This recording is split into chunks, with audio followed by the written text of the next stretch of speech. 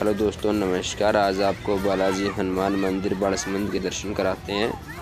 ये देखिए, बच्चे एंटरटेनमेंट कर रहे हैं। यहाँ बच्चों का एंटरटेनमेंट के लिए पाँच छः टाइप के झूले हैं। और बच्चों की बहुत लंबी लाइन लगी हुई है। ये देखिए झूले। आइए मंदिर के मेन द्वार पे चलते हैं। ये देखिए भीड़। भीड़ बहुत लंबी है।